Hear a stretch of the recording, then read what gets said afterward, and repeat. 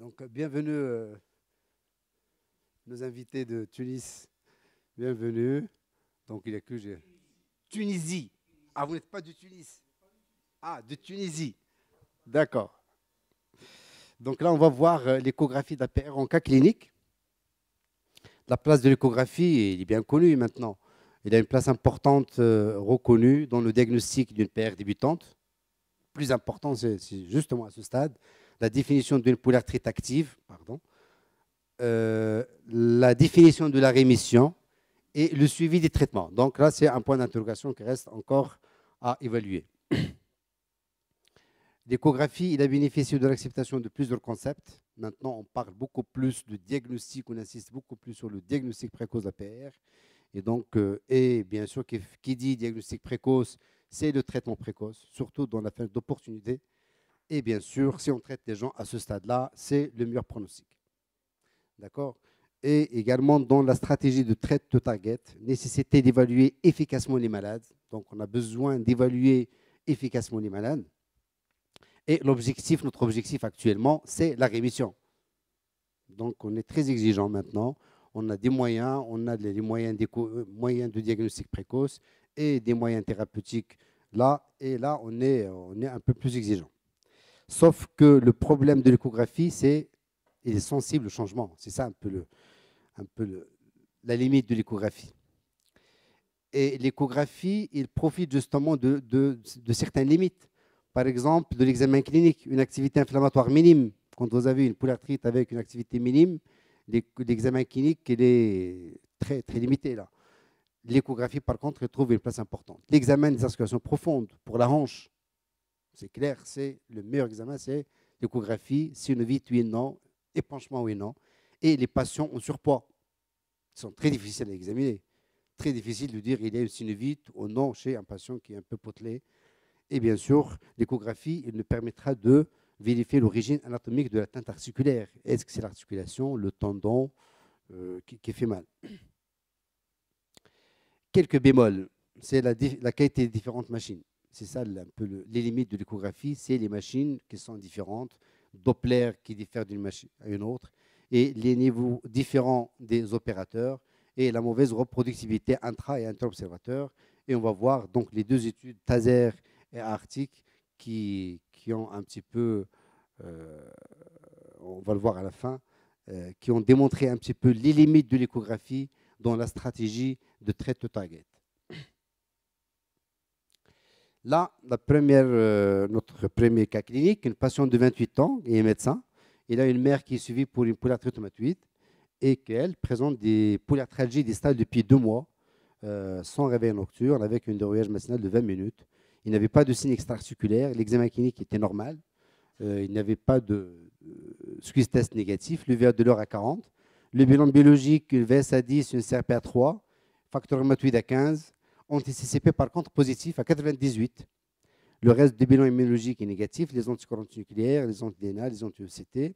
Bilan radiographique normal, à savoir radiographie standard, échographie, on n'a même complété pas une échographie, et même une IRM Didier, tout est normal. Elle est tellement soucieuse, hein, il est médecin, il a une mère qui a une polyarthrite, et là, il a peur qu'il a une polyarthrite elle aussi. Retenez-vous, oui ou non, le diagnostic de polyarthrite rhumatoïde. D'accord? Il a des arthralgies distales depuis deux mois. D'accord?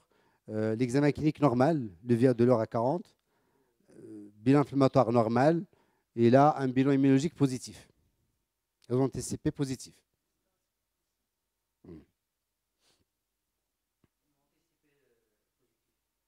98, hmm. hein fortement positif. Plus que trois fois la normale. Hein.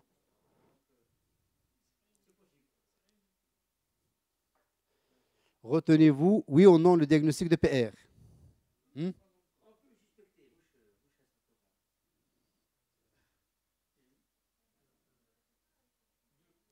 Voilà. Pourquoi?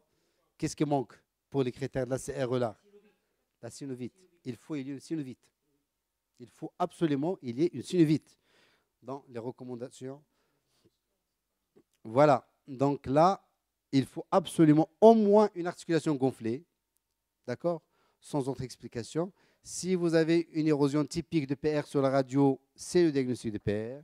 S'il n'y a pas cette érosion, il faut chercher les nouveaux critères remplis. Oui, c'est la PR. Et sinon, c'est il faut chercher autre chose hein, que la polyarthromatite. Hmm? Oui, non, normal. Hmm. Ah non, non, ça c'est. Non, c'est pas le score de la patiente, un peu c'est le score de. D'accord Donc là, on n'est pas dans la polyarthrite rhumatoïde, on est en fait, en quelle phase? C'est la phase sérologique ou la phase préclinique. Donc on est dans la phase sérologique, la phase préclinique, ça on le sait. Les anti-CCP sont positifs des années avant le début de la PR. Des années avant le début de la PR. Euh, donc pour, avant de développer une PR, il faut passer par ces phases-là il faut qu'il y ait un facteur génétique. Cette patiente, elle a une mère qui est suivie pour une PR, les facteurs d'environnement, et c'est tout ça qui va faire que qu'un patient va développer une, va progresser, va, évoluer vers une polyarthrite rhumatoïde. Et donc là, les, les Néerlandais, ils ont fait ce score d'Amsterdam. Le score d'Amsterdam.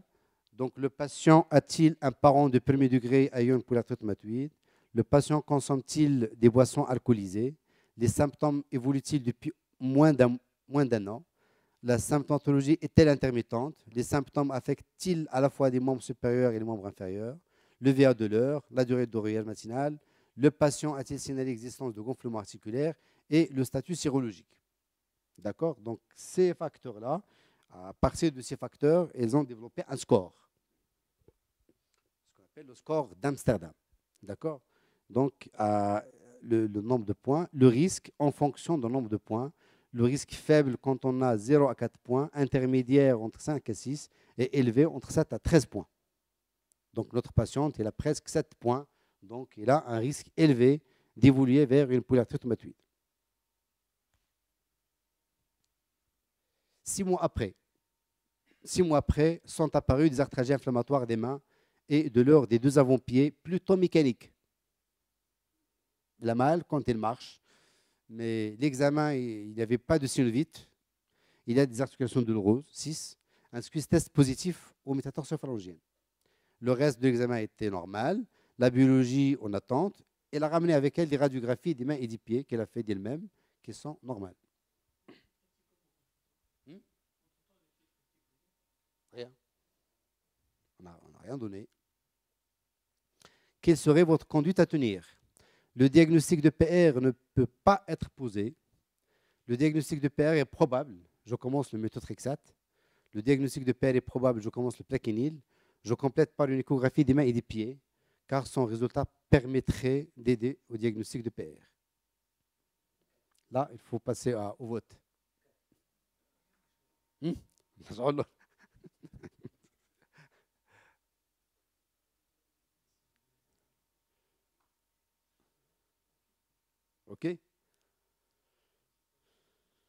Le diagnostic de PR ne peut pas être posé. Le diagnostic de PR est probable. On commence le métrexate. Probable, on commence le plaquenil. Je complète quand même par une échographie des mains et des pieds.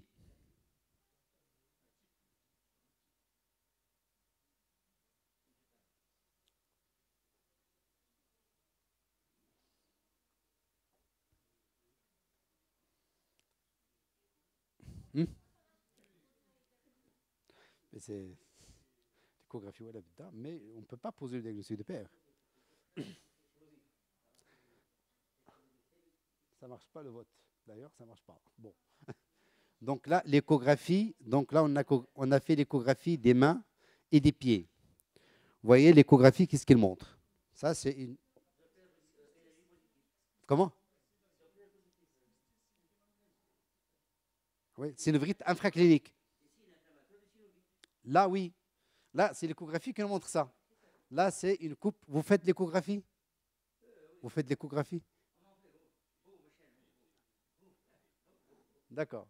Donc là, c'est une coupe euh, longitudinale dorsale du poignet, radius, lunatum, capitatum, une grosse synovite avec Doppler positif, avec un grade 3 de Doppler. D'accord? Et également au niveau des oui, donc les pieds. Les pieds, c'est difficile à examiner, hein, cliniquement. C'est très difficile de dire qu'il y a une synovite au niveau du pied. Par contre, l'échographie, il a beaucoup plus d'importance à ce niveau-là. Vous voyez, les grosses synovites, hein, des grosses synovites avec Doppler positif. Donc au niveau des 2, 3, 4, 5. Vraiment, c'est. c'est vrai. Donc il marchait difficilement.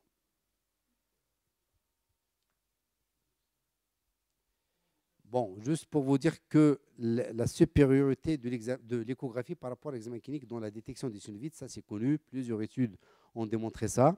Je vous rappelle cette étude-là, une étude qui accompagne l'examen clinique, l'échographie et l'IRM des mains de 60 polyarthrites. Les synovites étaient retrouvés dans 22%, 53 et 41% lorsqu'il n'existe pas de lésion radiographique. Vous voyez, donc l'échographie et l'IRM, c'est pratiquement la même chose. Hein et dans 22, 51 et 50% lorsqu'il existait des lésions radiographiques. L'échographie est un moyen, bon moyen pour détecter les synovites. Donc, vous voyez, dans cette étude, l'examen clinique ne permettait de découvrir que moins de la moitié des synovites. C'est-à-dire, donc là, Dieu sait, on passe à côté de beaucoup de polyarthrite rhumatoïde. Et là, donc, il y a un travail exactement comme euh, notre patiente, un travail ils ont pris les patients qui ont des arthralgies inflammatoires sans synovite et qui avaient des anticipés positifs. Et ils ont fait l'échographie pour voir un peu les patients progresseurs et non progresseurs. Donc là, ils ont pris 136 patients euh, d'âge moyen 51 ans, 100, il y avait 100 femmes, et qu'ils ont suivi pendant 18 mois. D'accord? À l'inclusion, il y avait 96% qui avaient des synovites mode B. D'accord? 30% avaient un Doppler et 21% avaient au moins une érosion. Vous voyez comme quoi les érosions, on les trouve très précocement. Et quand on trouve une érosion, c'est clair que c'est une polyarthrite qui est sévère, qui est agressive. Donc, qu'est-ce qui sort? C'est dans l'évolution, il y avait 57 patients qui ont développé une, une arthrite inflammatoire soit 42%, après 8 mois d'évolution. Les anomalies échographiques, il y avait, euh, c'est-à-dire une synovite euh, mode B supérieur, supérieur égal à 2 avec un power avec Doppler supérieur égal à 1 ou érosion supérieure ou égale à 1 ont été retrouvées dans 86%, 86% euh, au début, comparé, en comparaison avec 67% chez les patients non progresseurs. Donc il y a une différence nette, 4,26. Vous voyez, donc le P, il est à 0,012. Il y a une différence significative entre les progresseurs et les non-progresseurs. Les progresseurs ont beaucoup plus de synovite, beaucoup plus d'Oppler, beaucoup plus d'érosion. Pour vous dire que l'échographie, c'est, elle nous aide énormément à voir justement, les, à prédire un petit peu l'évolution de ces polyarthrites. De récemment, euh, l'équipe d'Agostino ils ont émis cet arbre décisionnel donc chez ces patients-là. C'est des patients qu'on voit fréquemment en pratique maintenant. Des arthralgies, des patients qui ont des arthralgies inflammatoires avec au sang immunologie positive, facteur rhumatoïde et ACPA positive. Donc, s'il y avait une synovite clinique et s'il répond aux recommandations, aux critères ACR-là, c'est probablement une rhumatoïde, donc une polyarthrite rhumatoïde euh, est là. S'il n'y avait pas de synovite, il faut faire une échographie. Synovite présente, c'est il faut c'est une polyarthrite et démarrer un traitement en fonction des facteurs pronostiques. S'il n'y avait pas de synovite à l'échographie, il faut rassurer et considérer euh, un autre diagnostic. Donc là, systématique, l'échographie doit, doit, faire partie un peu de notre... Euh, hein voilà, donc là, notre patiente, on revient à notre patiente, il a un syndrome inflammatoire important, un bilan immunologique très positif, d'accord Un facteur rhumatoïde à 4,26, ACPA super 340. Donc là, on est devant bien une polyarthrite rhumatoïde avec euh, immunologie positive. Donc on a évalué. Donc une fois le diagnostic est fait, c'est l'évaluation. Il faut évaluer la patiente. Donc l'évaluation essentiellement évaluer l'activité de la maladie avec le DAS 28, il est à 6,2. C'est une forte activité de la maladie. On démarre un traitement. Donc c'est clair, toutes les recommandations le disent. Une fois le diagnostic posé, méthotrexate le premier traitement. Métaux 15 mg jusqu'à 20 mg, on augmente progressivement. Prédnisone 10 et on diminue. Trois mois après, il avait six articulations douloureuses, trois gonflées. Il a amélioré le système inflammatoire avec un DAS 28 à 3,8. Ça va. Donc, il y a une, amélioration. Il y a une activité modérée de la maladie. On était à 6,2, maintenant à 3,8. C'est bien ça. Est-ce qu'on va s'arrêter là? On peut se dire, ça y est, ça va, la patiente va bien. il faut faire une échographie. Hein. Si. Non, c'est quoi l'objectif maintenant? Ce n'est pas l'activité modérée, c'est la rémission. Il ne faut pas accepter ces... Hmm? Gonfler, oui. Mais non, on va voir que ce n'est pas bien de laisser les articulations gonfler. Donc l'objectif maintenant, c'est la rémission. Il ne faut pas s'arrêter là, il faut faire l'échographie. L'échographie du poignet, ça, on le voit en pratique. Il y a des malades qui évoluent et il y a deux ou trois ou une articulation qui résiste, qui échappe au traitement. Donc le poignet n'a pas bougé et même une ténosynovite de l'extenseur ulnaire du carpe. Vous voyez, donc cette belle image de l'extenseur ulnaire du carpe. Vous voyez, donc avec même, j'imagine, il y a un début d'érosion à ce niveau-là. Hein. Donc une irrégularité de la corticale. Hein. Donc une grosse synovite, ténosynovite de l'extenseur ulnaire du carpe avec Doppler positif.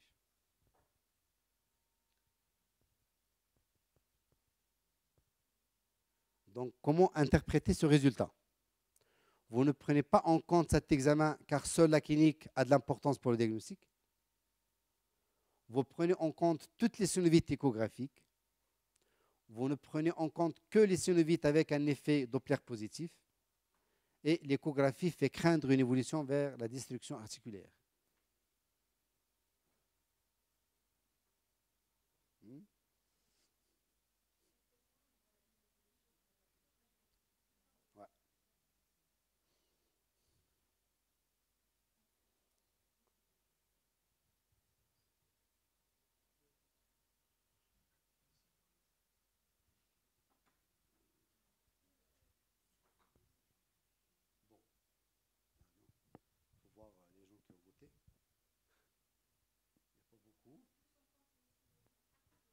Beaucoup plus les synovites actifs. Normalement, même les synovites mode B, il faut, les, il faut prendre compte aussi. Hein. C'est vrai, c'est sont froides, c'est pas méchant, mais il faut, il prendre. Donc beaucoup plus ça, il faut prendre les synovites euh, avec Doppler, positif. Ça, c'est le plus important. Les synovites avec Doppler positif, c'est ça qui, est grave. C'est ça qui va évoluer vers l'érosion. Donc l'échographie, il fait craindre une évolution. Oui, l'échographie, il peut, peut nous montrer ça justement. C'est démontré par plusieurs études.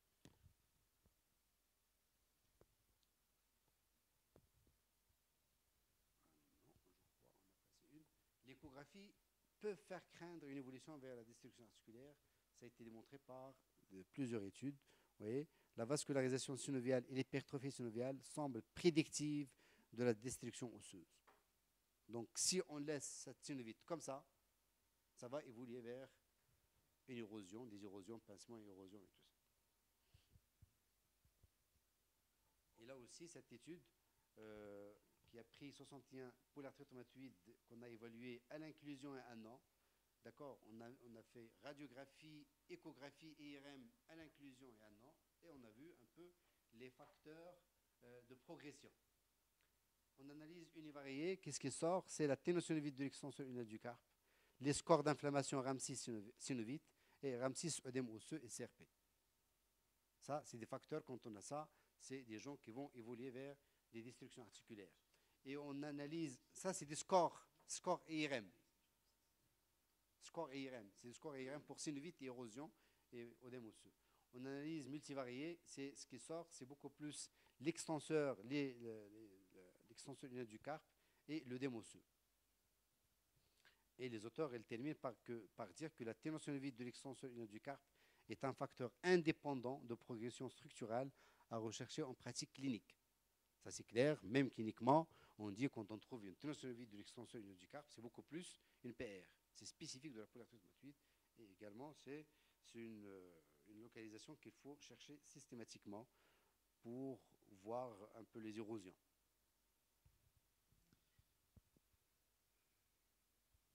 La présence et la persistance d'une synovite échographique sont prédictives de développement d'érosion radiographique. Donc ça a été démontré par deux études. Je vous montre celle-là. 24 PR, échographie à 0, 6 et 12 mois, et les radiographies à 0 et à 12 mois. On a comparé un petit peu l'apport des deux, des, deux outils. À 12 mois, il y avait 12 nouvelles érosions au niveau des MCP à la radio et 35 à l'échographie. Vous voyez, l'échographie détecte beaucoup plus d'érosions que la, radiographie standard. 82% des érosions écho étaient associées à une persistance après 6 mois de synovite. Donc une synovite qui persiste pendant dans le temps, c'est sûr qu'il va éroder par la suite. C'est pour cela qu'il faut tout de suite, il faut euh, soit des gestes locaux, soit modifier, intensifier le traitement. Il ne faut pas laisser des synovites inflammatoires. 90% des érosions étaient associées avec une synovite Doppler positive. Le Doppler est très important. Plus que le Doppler est, élevé, plus que le risque justement d'érosion est, très important. Bon, trois mois après optimisation de Mutrixat à 25 mg par semaine et près des 5, il y a une amélioration aussi. Hein. Donc on a, une fois qu'on a augmenté Mutrixat, on a gagné un petit peu un DAS 28 à 3,1. On est en faible activité de la maladie. D'accord? Est-ce qu'on va s'arrêter là? Non, on ne va pas s'arrêter. Toujours notre ambition maintenant, notre objectif, on est très ambitieux, c'est la rémission. Il faut essayer, c'est une forme qui est sévère quand même. Donc il faut, et qu'on a, on a la chance d'avoir dans les premiers mois, donc on a soi-disant, on a traité dans la fin d'opportunité, il faut essayer de la mettre en rémission. Donc euh, l'objectif euh, LDA, là où 6 activités, est un objectif raisonnable après 6 mois de traitement. L'objectif rémission est obligatoire à ce stade. Le traitement est insuffisant et doit être modifié. Une échographie pourrait aider à prendre la décision de changer ou non le traitement.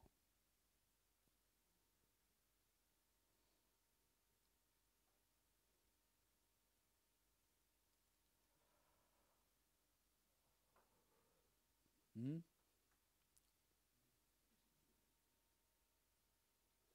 Crois qu'on n'est pas très nombreux, c'est pas la peine, on peut. Donc c'est. Hein Votez quand même. On a des boîtiers, il faut les utiliser. oui, deux. Main droite et gauche. J'espère qu'il n'y a pas de différence entre les deux. Ah bon? Hein? Bon, à votre avis sur 8, on va voir. Euh, oui, vous avez raison. Il ne faut pas s'arrêter à, la LDA. L'objectif de rémission est obligatoire. Le traitement est insuffisant, oui. Et l'échographie pourrait aider à prendre la décision de changer. L'échographie, encore, on a besoin d'échographie pour, pour voir.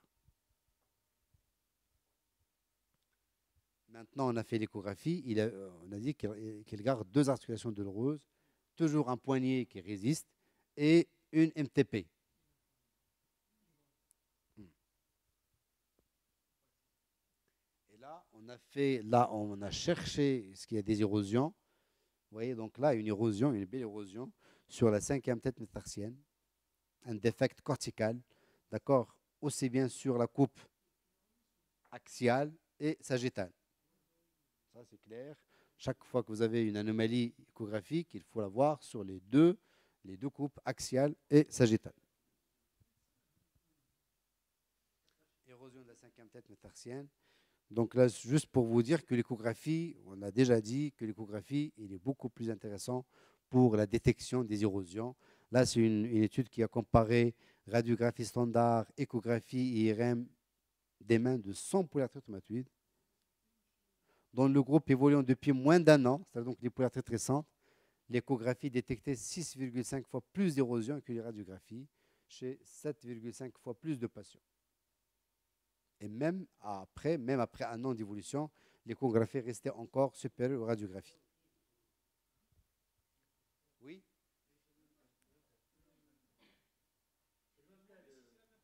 C'est la même patiente. c'est la même patiente.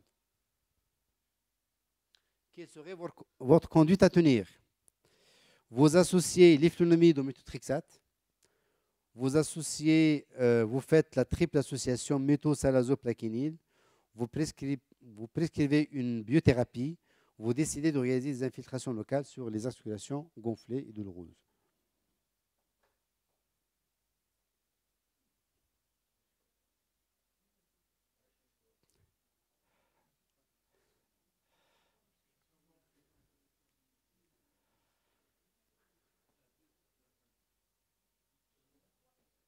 Hmm?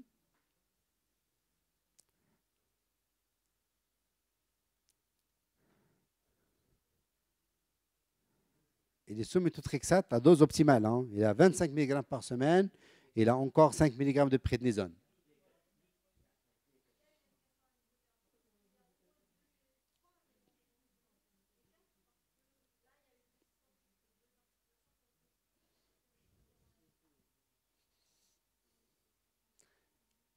mettre biologique et infiltration locale, pas uniquement les infiltrations. Oui, oui. Mais ça ne suffit pas de faire un geste local. De thérapie. Mais également les, associations de traitement.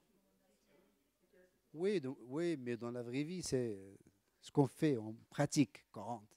Tous les patients n'ont pas la, chance d'avoir un traitement biologique. Mais voilà. Donc, on pratique, c'est la vraie vie, on peut associer. Triple association aussi fait du. C'est vrai, la, la, tolérance est, beaucoup moins, mais on le fait. On le fait. Oui. Oui.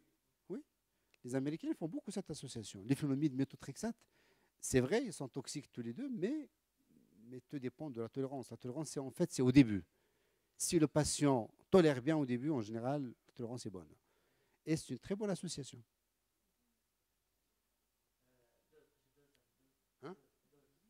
L'iflunomide, il est dosé à 20 mg par jour. Il y a un seul, dosage. Et métaux, 25. Hein. Si, hein?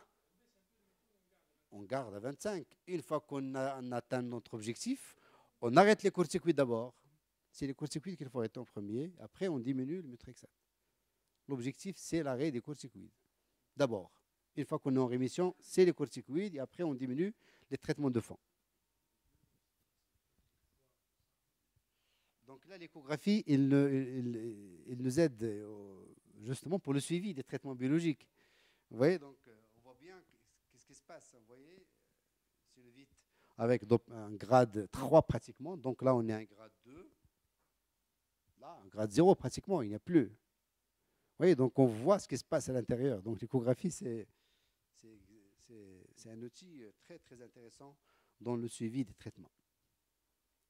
Notre patiente est traitée depuis trois mois par un anti-TNF. Donc là, on a opté pour un traitement biologique. Elle est très satisfaite de son traitement. La VS est à 5 mm, la CRP à 3. Votre examen clinique montre une VA de l'aura 2, pratiquement rien, une articulation douloureuse, une articulation gonflée, un DAS 28 à 2,4. Donc là, on est en rémission. En rémission clinique. En rémission clinique il a une articulation gonflée, ça peut être une, synovite froide. C'est possible. On peut avoir des synovites froides, mais euh, ça, on ne peut pas le savoir sans faire l'échographie. Est-ce que froide Non, mais la, rémission clinique est définie par l'audace 28. Quand c'est inférieur à 2, à 2, oui, oui, oui mais c'est possible que cette articulation elle est froide. Si jamais on fait une échographie et qu'on trouve la synovite froide, on peut, on est, tranquille. C'est ce qu'on cherche.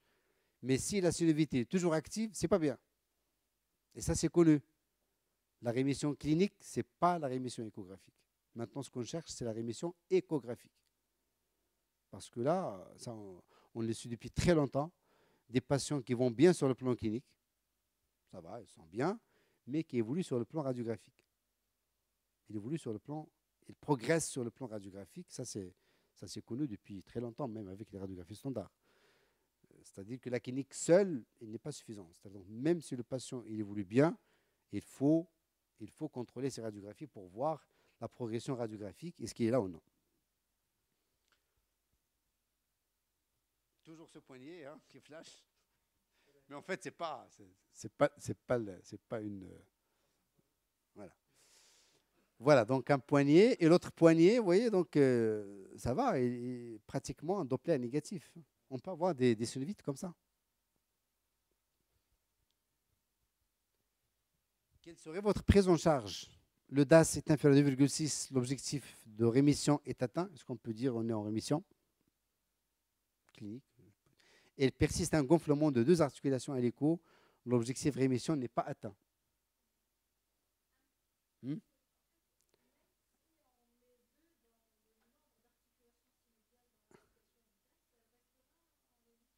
Oui, oui. Pas inflammatoire. Oui, oui, c'est clair. C'est rémission clinique on est bien en rémission clinique, même s'il y a deux articulations douloureuses. Avec une veste qui est normale, une VA2, elle est en rémission, cette dame. Mais ce n'est pas suffisant, il faut faire l'échographie. Vous voyez, l'échographie, elle montre quand même une autre synovite active. C'est-à-dire qu'on n'est pas ça. Et l'objectif thérapeutique maintenant, ce n'est pas, pas la rémission clinique, c'est échographique. Donc là, un peu les différentes définitions de la rémission. Euh, tout dépend de votre outil que vous, que vous, avez utilisé. Soit le DAS 44, on parle de rémission quand c'est inférieur à 1,6. Donc ça, on ne l'utilise pas. Hein. Ce qu'on utilise plus, c'est le DAS 28. On parle de rémission, c'est quand il est inférieur à 2,6. Faible activité à 3,2, active à, à 5,1. Le SDAI, le SDAI aussi, c'est un outil intéressant pour l'évaluation de l'activité de la PR, nombre d'inscriptions douloureuses, gonflées, le VA patient, le VA médecin, plus CRP. D'accord? On parle de rémission quand il est inférieur à 3,3, euh, faible activité à 11 et active à 26, et le CEDAI. Mais en fait, la rémission, la, rémission, hein? Le STAI. Vous voyez d'ailleurs la, rémission selon ACR ils, mettent le SDAI. Hein. Mieux que le DAS. Ça, le on le sait. Par exemple, pour cette patiente qui a, qui a les pieds, il ne tient pas en compte des pieds. Il a des métatarsalgies, on ne tient pas compte des, pieds. C'est ça la limite un peu de, DAS. Et la VS aussi. La VS, c'est pas bien. CRP, c'est mieux que la VS. Donc la vraie rémission, en fait, c'est ça. C'est vraiment où vous avez pratiquement une articulation euh, douloureuse, gonflée, celiaxie protéine inférieure à 1 mg, l'évaluation globale de patient inférieure à 1, avec un SDAI inférieur à 3,3. Donc c'est, euh, je crois qu'il faut utiliser beaucoup plus. Il est un peu plus sévère, et plus intéressante que celle de, de, de.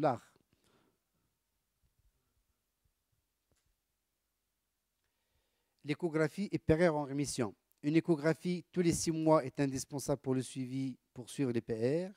Une échographie est souhaitable de temps en temps pour suivre les PR. Une échographie est souhaitable après trois à six mois de diagnostic pour adapter le traitement. L'échographie ne doit pas être réalisée s'il n'y a aucun signe clinique. L'échographie est intéressante même s'il n'y a aucun signe clinique.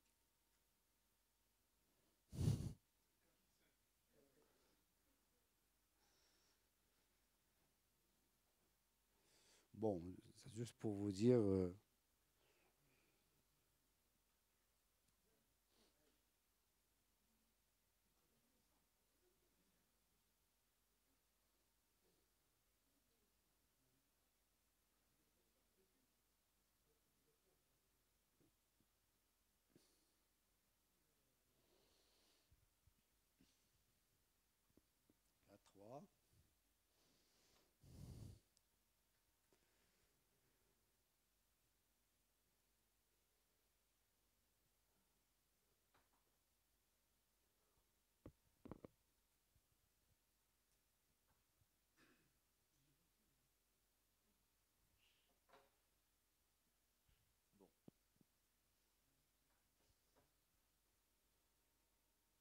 C'est vrai.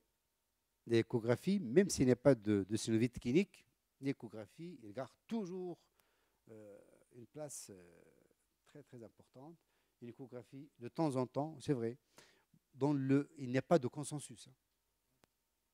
Chacun fait ce qu'il veut dans le suivi de, de, la PR. L'idéal, c'est de faire une échographie initiale, d'accord? Avoir un petit peu, c'est comme une cartographie un petit peu des, des synovites. Combien de synovites vous avez? En principe, à trois mois, il faut faire une échographie pour voir un petit peu l'effet de traitement. Est-ce que vous allez intensifier, réduire le traitement? En principe, normalement, en principe, euh, euh, l'échographie, il doit être là. Hein. C'est un complément de l'examen clinique, il faut la faire régulièrement pour diminuer, intensifier, il faut se baser beaucoup plus sur l'échographie. Parce que là, on sait que l'échographie, elle est vraiment supérieure à l'examen clinique dans la détection des synovies, des érosions, de Doppler et tout ça. Écho et en rémission, comme je vous ai dit tout à l'heure, la rémission clinico-biologique n'est pas la rémission échographique, donc 40% des cas. Vous voyez, donc c'est énorme. Hein. donc 40% des cas, même si les gens, les, gens sont bien sur le plan clinique biologique, mais sur le plan échographique, ils ne sont pas bien. Et plus de 80% des patients considérés en rémission ont au moins une synovite en mode B, et plus de 40% ont une synovite active en Doppler puissance. C'est-à-dire que là, s'ils ont 40% de synovie Doppler positive, c'est-à-dire qu'ils ne sont pas bien. Et donc la non-rémission échographique est associée au risque de rechute clinico-biologique et à la progression des lésions structurelles. C'est clair, quelqu'un soit disons qui, qui, va bien, avec des synovites actives, rapidement, il va rechuter. Et bien sûr, c'est ces patients-là qui vont évoluer vers des érosions osseuses. Donc cette étude qui, démontre bien ça, sur 31 patients, patientes en rémission clinique complète sur métrixate salazopérine, comme quoi on peut avoir des de, des, rémissions sous les traitements, les DMARTS classiques. On les a. Métrixate, c'est un bon médicament. On a des, malades qui vont bien, bien sur métrixate. Et quand on fait l'échographie, 73% d'hypertrophie synoviale, de synovite, 43% Doppler positif, alors qu'elles sont en rémission clinique complète. Et l'IRM, 96% de synovite en IRM, 46% de l'œdème osseux. Et donc là, les auteurs, ils, disent que c'est vrai, il est nécessaire d'intégrer l'imagerie justement pour affirmer la, rémission.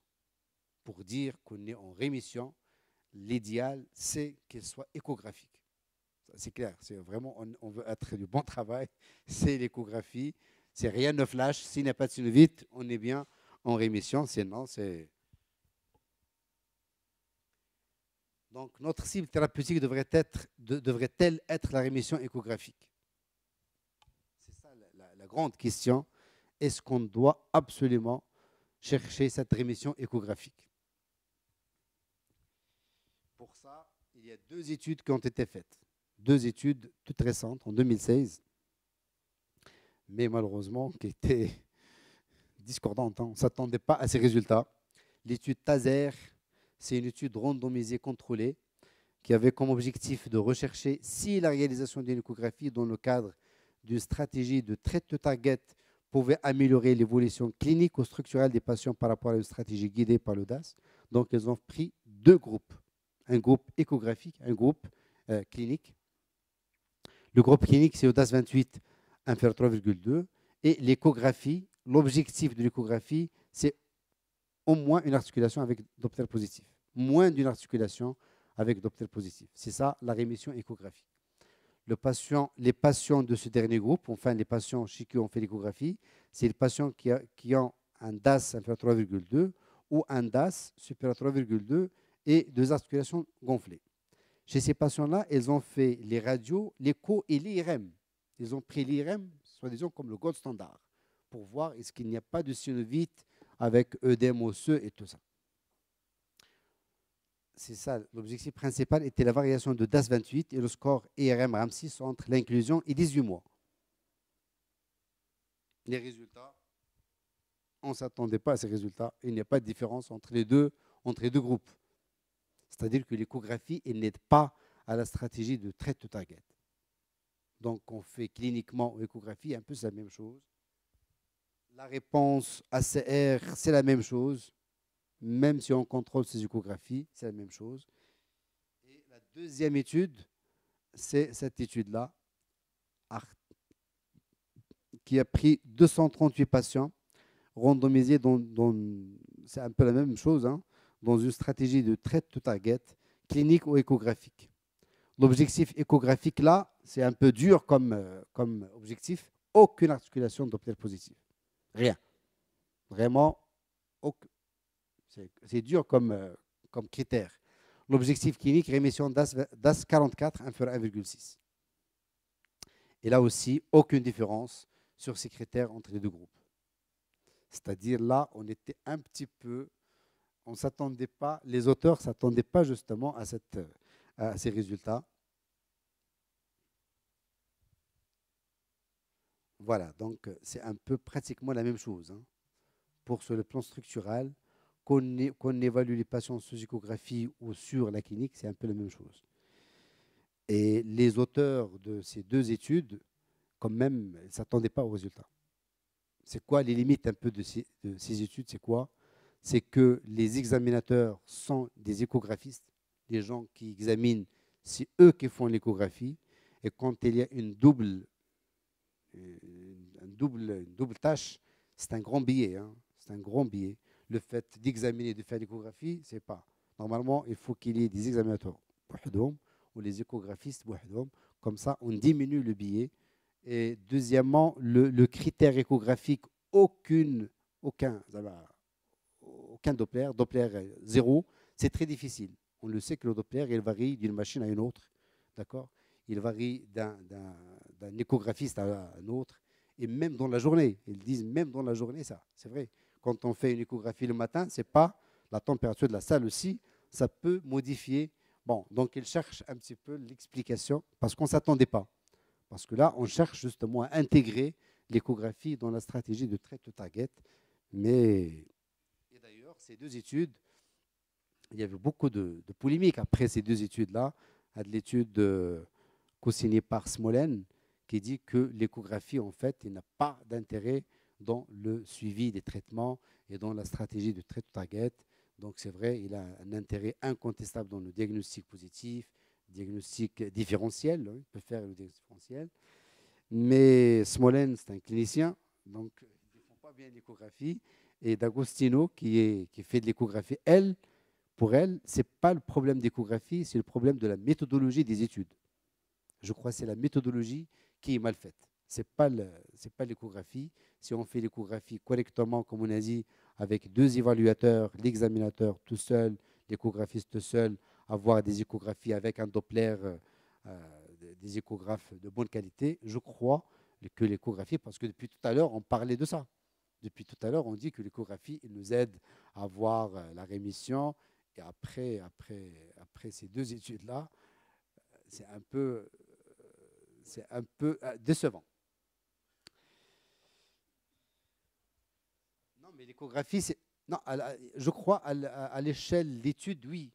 Mais sur le plan quotidien, c'est sûr. Ah. L'échographie, euh, c'est intérêt indéniable. Donc, euh, place de l'échographie dans la PR. Donc, je termine par, par ça.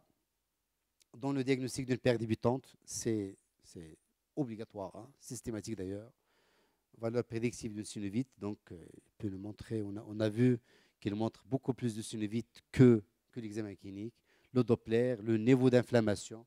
Dans la valeur diagnostique des ténosynovites, au niveau des mains, on ne sait pas palper. Hein. On parle parfois au niveau des mains, on peut dire oui, mais l'échographie, on voit bien la ténosynovite, on la voit très bien l'échographie.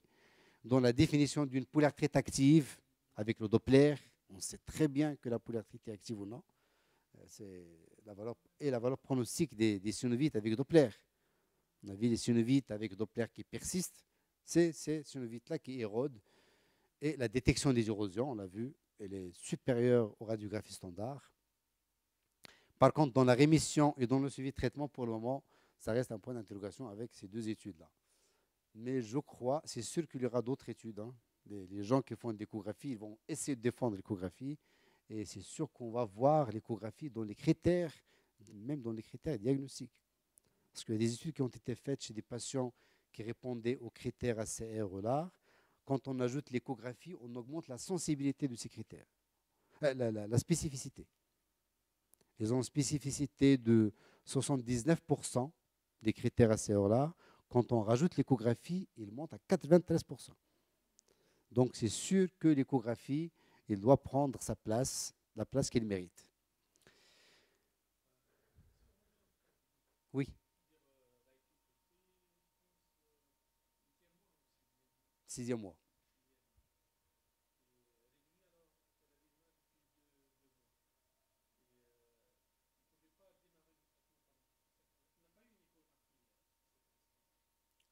Quand est-ce que... Ah, ah si, si, on a fait l'échographie même au début. Tout est négatif.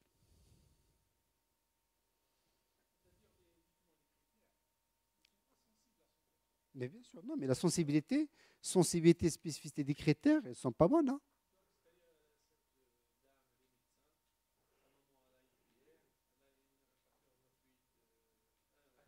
pas positif. Non. Non, mais non, mais sur le plan médico-légal, non. Hein. On n'a pas. On ne peut pas. Si tu as des synovites, il a mal, et il a des pas positifs, c'est vrai, mais c'est une, malade qu'il faut surveiller. D'ailleurs, euh, comme font les, le score d'Amsterdam, l'échographie, ce qu'il faut faire, c'est, on a fait ce qu'il faut, c'est une euh, échographie, même une, IRM Didier, d'accord? Si tout est négatif, euh, non, c'est pas la peine. Hein. Qui te dit avec le Trixat, il va faire une hépatite fulminante hein? Non, on n'a pas assez de critères. Par contre, c'est une malade qu'il faut surveiller régulièrement. On, a fini par la traiter, c'est ça.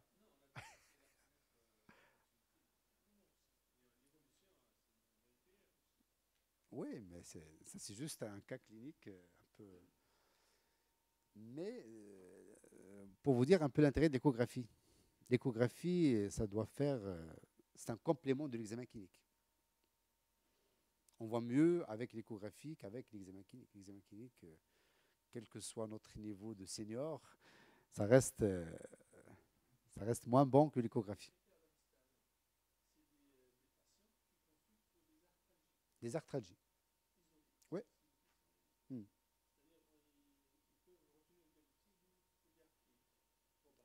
Probable. Là, c'est le score d'Amsterdam, c'est pour voir un peu les progresseurs, les gens qui ont des arthralgies, le risque d'évoluer vers une polyarthrite mais ça reste, on ne traite pas. On traite pas sur, ce, sur, le score d'Amsterdam. Hein? Non, même pas.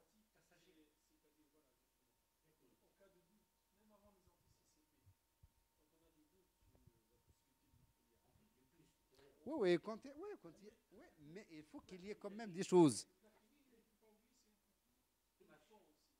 Oui, oui. Là, ما نخسرش ولكن ملي كيكون عندك بروبليم دو دياغنوستيك في الاول مي il faut qu'il y ait quand même des éléments il y a un syndrome inflammatoire il y a il y a des synovites hmm? là ماشي بزاف c'est pas grave si on traite les gens comme ça là c'est bien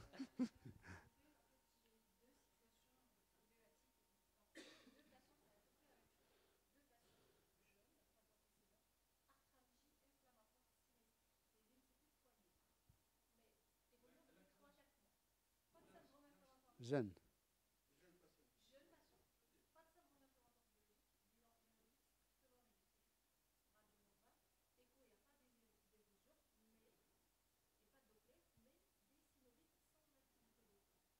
dire Doppler dire Comment il est? La machine, hein? il faut voir la machine, attention.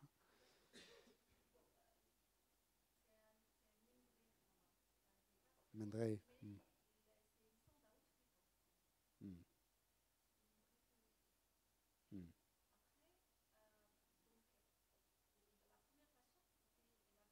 Hmm. C'est une vite, c'est une vite euh, quel grade? Le grade. grade 1, c'est difficile. Hein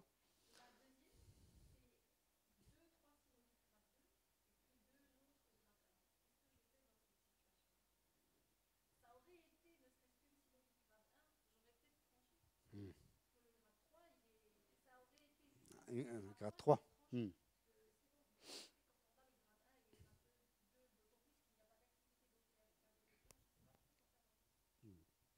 C'est vrai, c'est difficile. Hein. C'est très difficile. le viral, euh, viral, hein.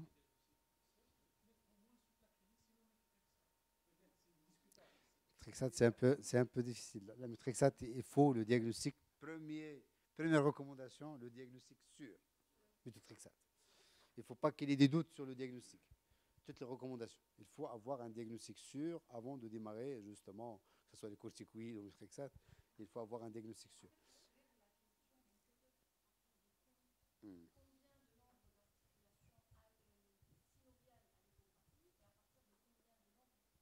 De grade. Ah, il y a encore du travail à faire. Hein. Ah. Ah, effectivement. Hmm. Hmm. Euh. Oui. Les formes articulaires, oui. Oui.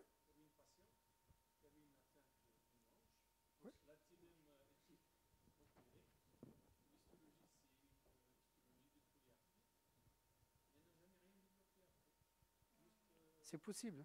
Il y a des formes monarticulaires. On a eu des cas de monarthrite isolée du genou, mais par la suite, elle a évolué. Hein. Oui, bien sûr. Si vous avez des critères, il faut donner le ça.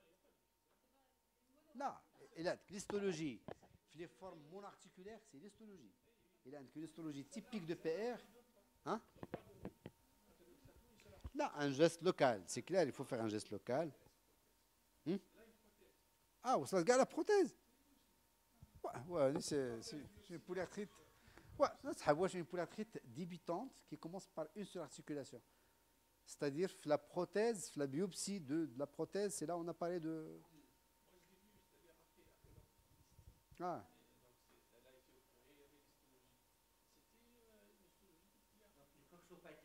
Hmm. Coxopathie révélant, révélant une PR. Et là, après, là, après, une fois que vous avez vous avez fait le bilan immunologique, les ACPA et tout ça, tout est négatif.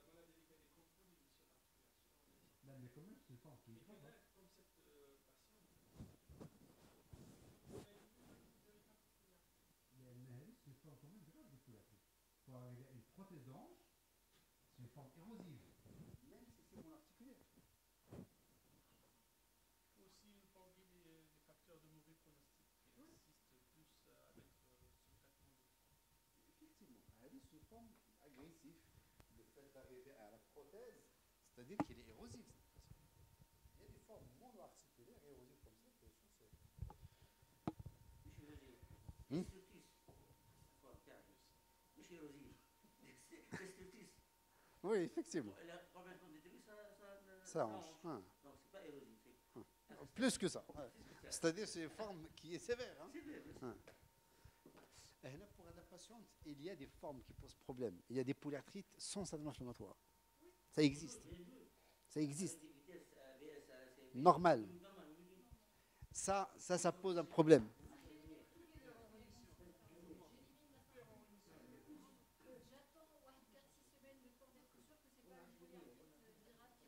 justement. Hmm. غير لاباس بوحدي شو لاباس بوحدي شو انت لان كاين دي فورم سونس انفلاماتوار هذا هو علاش كتخافي اه وي grade 1 grade 1 faut pas tenir compte grade 2 oui